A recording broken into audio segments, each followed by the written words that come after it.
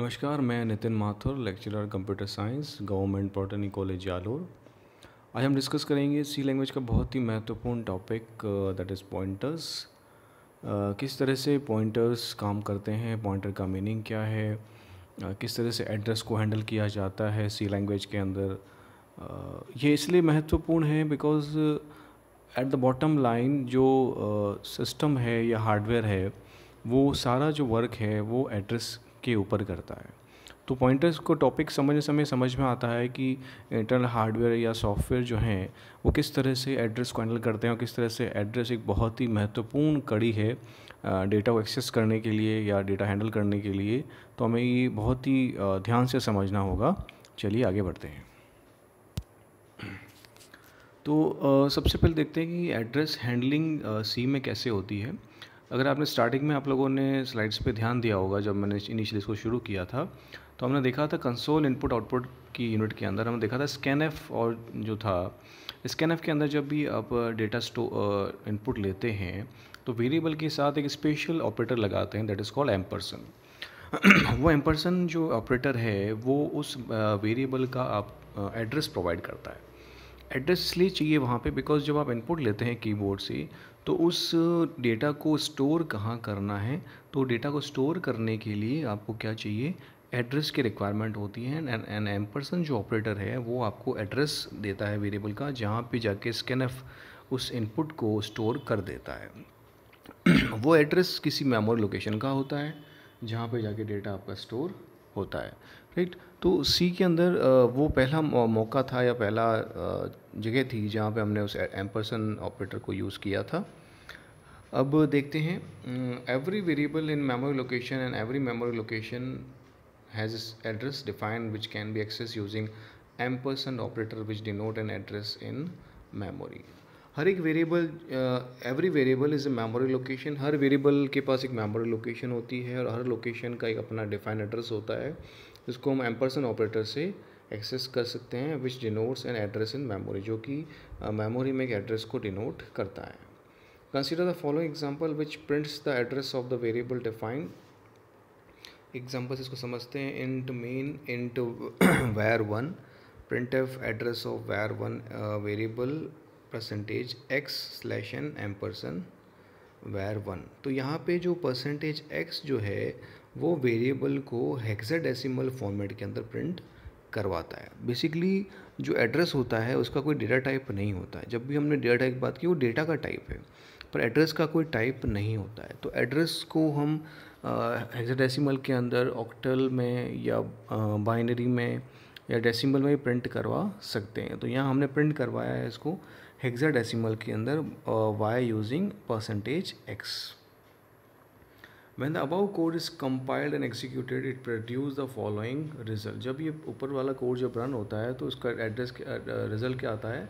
Address of var one address of var one variable is bff5a568 this is the uh, एक random address मैंने यहाँ लिखा है that is B five five five A ये हर machine पे जब भी इस प्रोग्राम को आप जितनी बार रन करेंगे ये एड्रेस रैंडमली बदल जाता है हमेशा फिक्स नहीं रहता है। बट कहने का मतलब ये है कि हर वेरिएबल जो है, बनाते हैं, उसका अपना एक फ़िक्स एड्रेस होता है। अब बात करते हैं पॉइंटर्स की। अभी तक जो अभी आपने इतने यूनिट डिस्कस किए हैं, उन सब के अंदर हम लोगों ने देखा था डेटा कैसे स्टोर होता है। डेटा को कैसे स्टोर किया जा सकता है राइट बट अगर डेटा के एड्रेस को स्टोर करना है तो आप कैसे स्टोर करोगे? तो अब डेटा के एड्रेस को स्टोर कर, अभी वो तो डेटा टाइप थे डेटा स्टोर करने के डेटा टाइप थे बट अगर आपको एड्रेस स्टोर करना है तो आपको बताना पड़ेगा उसमें स्पेशली कि उसमें आप डेटा स्टोर कर रहे हो या फिर आप एड्रेस स्टोर कर रहे हो। तो एड्रेस स्टोर करने के लिए आपको उस वेरिएबल के साथ एक स्पेशल ऑपरेटर लगाना है दैट इज़ स्टार इसको हम बोलते हैं एस्ट्रिक ऑपरेटर ठीक है? ये एस्टिक ऑपरेटर ये बताता है कि वो जो वेरिएबल है, वो एक सिंपल वेरिएबल नहीं है, वो एक पॉइंटर वेरिएबल है जो कि किसी वेरिएबल के एड्रेस को स्टोर कर रहा है। चलिए पढ़ते हैं इसको।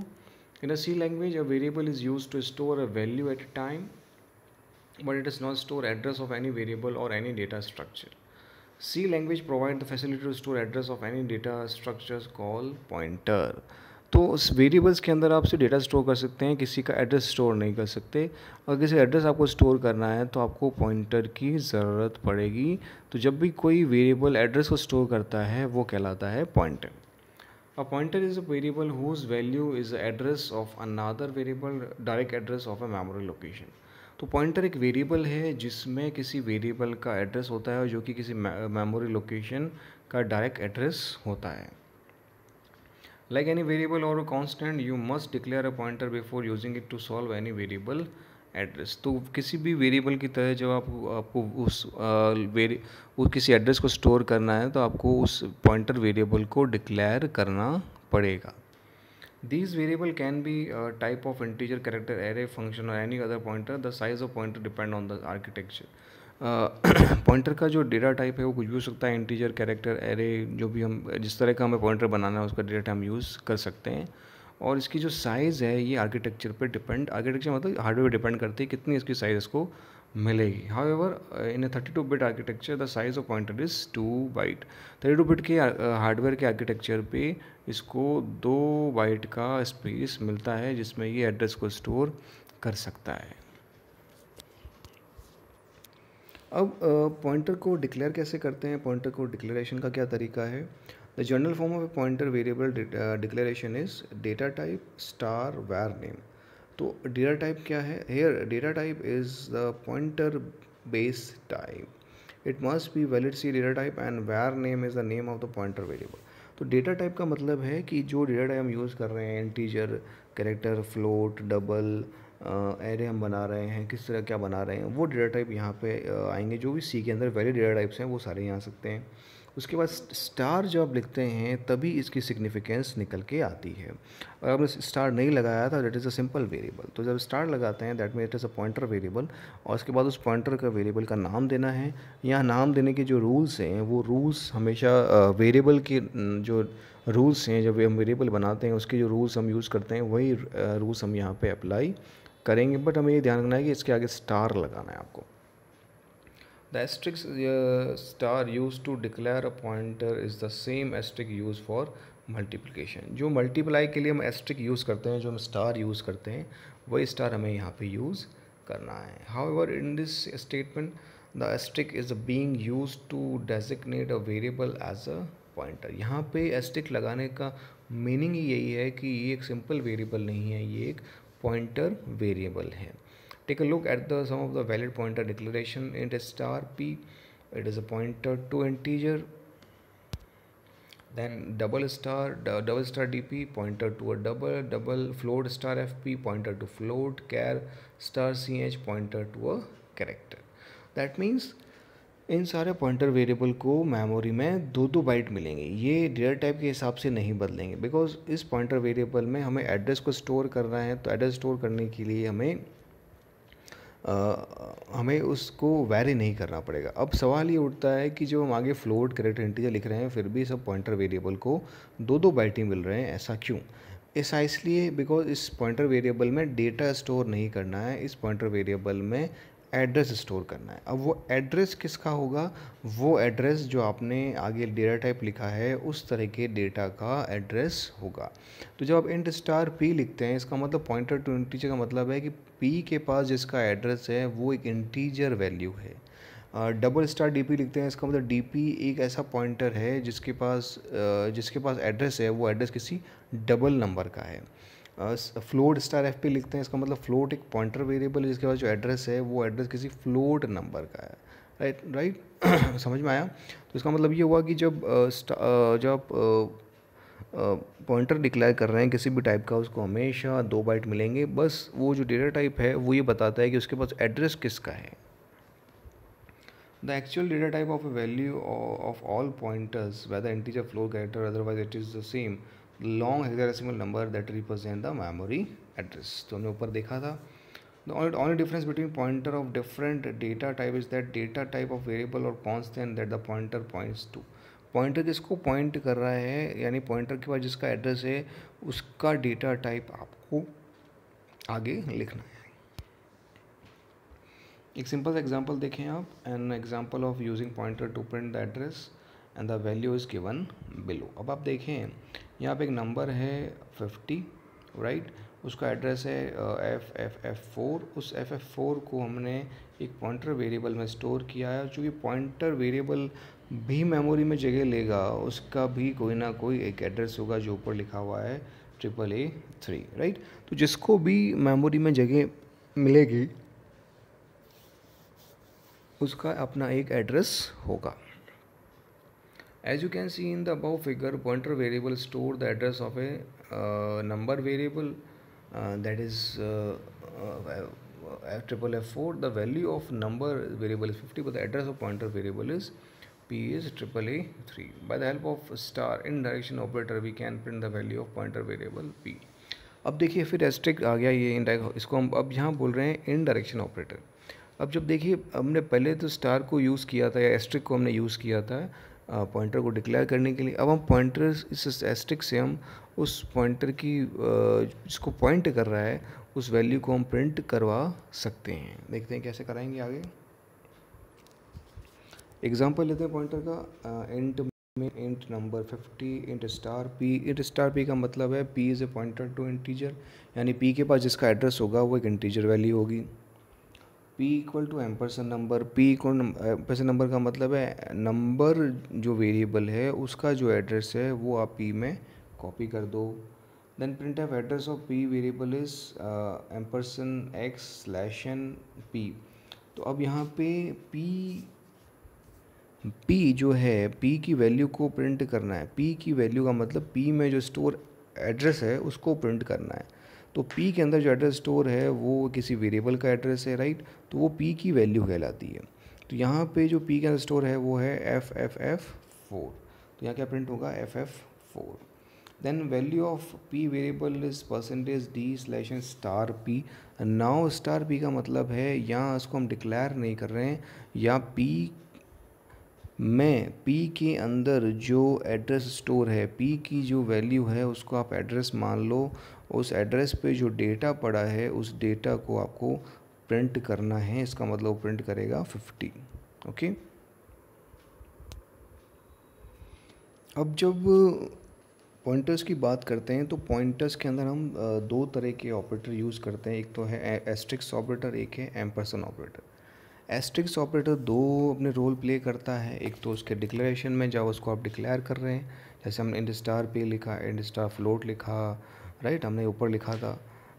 उसमें काम करता है। दूसरा, जब आप उसकी पॉइंटर से उसकी वैल्यू को प्रिंट कराना चाहते हैं, तब वो एस्ट्रिक की तरह जब वो एस्ट्रिक काम में लिया जाता है। तो asterisk operator play two role in pointer aspects first asterisk operator use to declare a pointer as follows तो पहला तो उसका रोल हो गया कि उसको पॉइंटर को डिक्लेयर करने के काम में लेना है। Ampersand operator use to extract और provide the address of variable as follows ampersand operator है किसी वेरिएबल का क्या देगा? एड्रेस देगा। Second star play another role to extract value from the pointer variable as follows तो अब पी एस स्टार जो है वो उस पॉइंटर uh, वेरिएबल में जो एड्रेस है उस एड्रेस पे जो वैल्यू होगी उस, उसको लेने के लिए काम में लिया जाएगा राइट तो यहाँ पे इसको इंडायरेक्ट इंडायरेक्शन ऑपरेटर भी बोलते हैं रेफरेंस रेफरेंस ऑपरेटर भी बोलते हैं राइट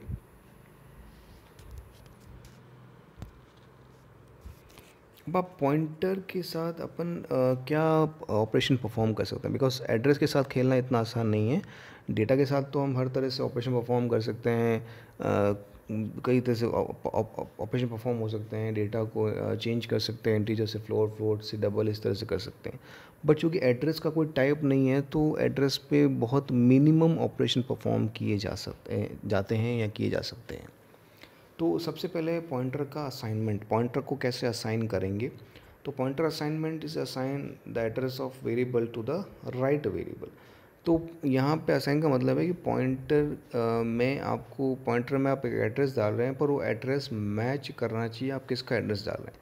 आपने पॉइंटर डिक्लेयर तो इंटीजर किया, पर उसमें एड्रेस डाल रहे हैं फ्लोट का एरर आ जाएगी, नहीं चलेगा वो। जैसे एग्जांपल देखते हैं int A star P T R float star B P T R equal to ampersand A it is right assignment क्योंकि ए जो है वो एक इंटीजर वेरिएबल है और पी टी आर जो है वो पॉइंटर टू इंटीजर है। ये सही है, लेकिन एम्परसन इक्वल टू बी ये गलत है, ये अलाउ नहीं है बिकॉज़ ए इज़ इंटीजर है और बी जो है वो पॉइंटर है, लेकिन फ्लोट टाइप का पॉइंटर है, उसमें आप उसको कॉपी नहीं कर सकते, वो एक एरर है। You can assign the value of one pointer to another pointer एक एक पॉइंटर से दूसरे पॉइंटर में वैल्यू असाइन कर सकते हैं। Like ampersand A P one और P one P two equal to P one तो पी वन में जो स्टोर है पी वन में जो एड्रेस स्टोर है, वो पी टू में चला जाएगा। अब पॉइंटर पे आप क्या क्या अर्थमेटिक कर सकते हैं? पॉइंटर पे हम कौन से अर्थमेटिक ऑपरेटर को ऑपरेटर को परफॉर्म कर सकते हैं? तो पॉइंटर पॉइंटर अर्थमेटिक वो उसमें हम दो ऑपरेशन परफॉर्म कर सकते हैं। एक तो है एडिशन एक है सब्ट्रैक्शन एडिशन के अंदर ये है कि हम पॉइंटर के अंदर कुछ वैल्यूज़ को आ, कुछ नंबर्स को ऐड कर सकते हैं। तो जब पॉइंटर में जब आप ऐड करोगे तो वो एक एक से ऐड नहीं होगा। उसका मतलब है कि वो नेक्स्ट जो नंबर होगा that is depend on the data type कि आपने क्या डेटा टाइप लिया उसके हिसाब से वो आगे जंप करेगा। अगर आपने कैर लिया तो एक से जंप करेगा। अगर इंटीजर लिया, दो से जंप करेगा। अगर फ्लोट लिया तो चार जंप करेगा। इस तरह से वो जंप करेगा तब नेक्स्ट लोकेशन पे पहुंचेगा। देखते हैं we can perform the increment on operator variable as follows int A R three hundred twenty hundred star P T R A R R P I to A R R and print F positive percent D A R R zero star P T R plus plus star P T R plus plus अब आप यहाँ देखें तो A R are जो है A are are जो एक array का बेस एड्रेस उसको अपन ने कॉपी किया पी टी आर के अंदर। पी टी आर जो है देन उसको हमने प्रिंट कराया। प्रिंट में देखिए A R zero A R zero का मतलब हो गया फ़र्स्ट वैल्यू को प्रिंट कराया। Then P T R plus plus P T R plus plus का मतलब है कि पी टी आर में इंक्रीमेंट करो। तो पी टी आर में जब आप इंक्रीमेंट करोगे तो पी टी आर में एरे का बेस एड्रेस उसमें जो इंक्रीमेंट होगा तो वो नेक्स्ट नंबर जो होगा उसके एड्रेस पे जाएगा। उसके एड्रेस पे जाएगा और उस, उस आगे आपने स्टार लगाया तो उस एड्रेस पे जो वैल्यू होगी उसको प्रिंट करेगा, इसका मतलब 200 प्रिंट करेगा। देन फिर again P T R plus plus तो पी टी आर प्लस का मतलब पी टी आर में फिर इंक्रीमेंट करो तो पी टी आर में अभी दो सौ पे था, अब नेक्स्ट लोकेशन पे जाएगा, यानी तीन सौ लोकेशन पे जाएगा। तीन सौ या नंबर है, तीन सौ नंबर जहाँ जिस लोकेशन पे स्टोर है, उस लोकेशन पे पॉइंट करेगा। फिर आपने आगे स्टार लगाया है तो वो उस वैल्यू को प्रिंट करेगा। इसका मतलब प्रिंट क्या होगा? सौ, दो सौ और 300 इस तरह से जब आप पीटीआर में इंक्रीमेंट करते हैं तो वो जितना डेटा टाइप होता है, उतने डेटा टाइप से इंक्रीमेंट होता है, उसकी साइज़ इंक्रीमेंट होता है। जैसे इंटीजर है तो दो से करेक्टर है तो एक से फ्लोट है तो चार से। सेम फॉर डिक्रीमेंट डिक्रीमेंट में वो पीछे आएगा। डिक्रीमेंट होगा डिक्रीमेंट भी कितना होगा, जिसका डेटा टाइप की साइज़ होगी। इंटीजर तो दो से कम होगा करेक्टर है तो एक से कम होगा और फ्लोट है तो चार से कम होगा। उसके बाद है, हम दो पॉइंटर को सब्ट्रैक्ट भी करा सकते हैं। दो पॉइंटर में दो एड्रेसेस हैं, उन एड्रेसेस को हम सब्ट्रैक्ट करा सकते हैं। इस एग्जांपल में अगर आप देखें तो दो पॉइंटर वेरिएबल है P T R one P T R two और एक एरे है A R R five P T R one में मैंने एड्रेस डाला है फ़र्स्ट नंबर का ए आर आर ज़ीरो का एड्रेस और पी टी आर टू में डाला ए आर आर फोर का एड्रेस फिर मैंने लिखा है P T R two minus P T R one right तो जब मैंने ये लिखा एक एड्रेस में दूसरा एड्रेस घटाया तो जब एड्रेस घटाते हैं तो एड्रेस तो आपने घटा दिया, लेकिन वो एड्रेस वो पॉइंटर किस तरह के डेटा को पॉइंट कर रहा है?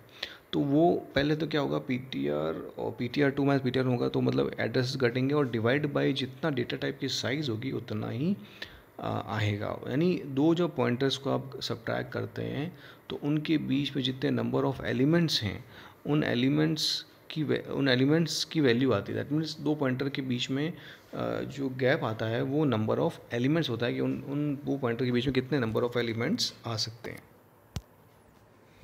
फिर दो नंबर को हम कम दो पॉइंटर वेरिएबल को हम कंपेयर भी करा सकते हैं। जैसे यहाँ पे कराया गया है कि ए पी टी आर में ए आर आर ज़ीरो डाल दिया पी टी आर टू में ए आर आर फोर डाल दिया, फिर P T R one less than P T R two तो पी टी आर वन जो है वो का एड्रेस कम होगा पी टी आर टू से ऑब्वियस है बिकॉज़ इंक्रीमेंट लोकेशन जो है बढ़ती होंगी। तो पी टी आर वन का जो एड्रेस है पी टी आर टू से कम होगा तो इस तरह से भी आप एड्रेस में कंपैरिजन करा सकते हैं। थैंक्स फॉर पेशेंस लिसनिंग धन्यवाद।